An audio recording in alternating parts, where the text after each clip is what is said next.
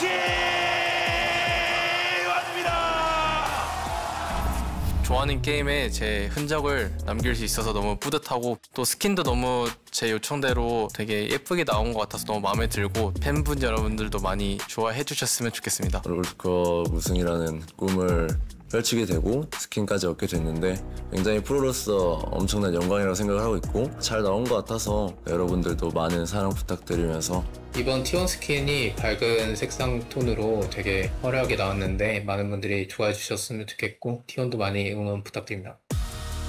좀 중요하게 생각한 거는 머리 색깔이 좀 빨간색으로 해가지고 좀 T1의 상징과 일러스트에 제 시그니처 포즈를 넣고 싶었는데 마음에 들고요. 그리고 둥이를 귀환 모션에 귀엽게 모델링 해주셔서 마음에 들었습니다. 적극적으로 제 의견을 잘 수용해 주셔가지고 이제 미팅하는 과정도 너무 즐거웠고 이제 결과물도 되게 만족스러워서 감사하게 생각하고 있고 많은 팬분들이 이제 예쁘게 사용해 주실 거라고 생각해서 되게 기쁜 것 같습니다.